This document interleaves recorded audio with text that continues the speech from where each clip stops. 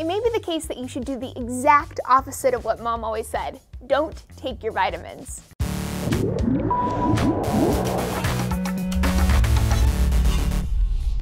Hey everyone, Laci Green here. In America, more than 110 million people take vitamin supplements every year.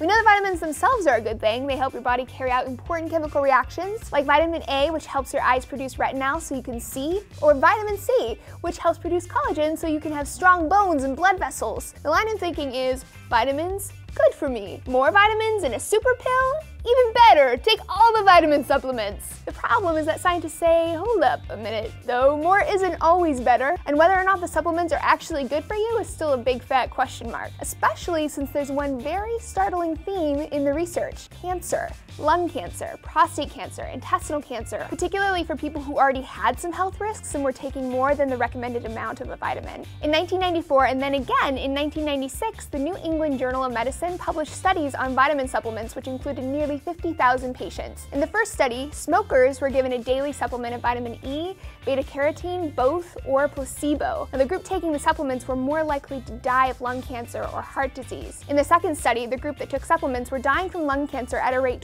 28% higher than those who didn't, and dying from heart disease at a rate 17% higher. And in 2004, the University of Copenhagen reviewed trials that tracked 170,000 people taking vitamin supplements to prevent intestinal cancer. The scientists wrote that contrary to what they expected to find, the supplements seemed to increase mortality. They identified that death rates were 6% higher in those that took supplements. In 2005, both Johns Hopkins and the Journal of the American Medical Association found that those who took vitamin E were more likely to experience heart failure. In 2007, the National Cancer Institute found that men taking supplements were twice as likely to die of prostate cancer. In 2011, the University of Minnesota evaluated women taking supplemental zinc, magnesium, copper, and iron and found that they had died earlier and at higher rates. Today, no national or international public health organization recommends that healthy people use supplements. And why are the vitamins increasing cancer risk? More research is needed, but scientists think the antioxidant effect of vitamin supplements may be a situation where there's just too much of a good thing. They destroy free radicals more quickly than normal, which throws the immune system off kilter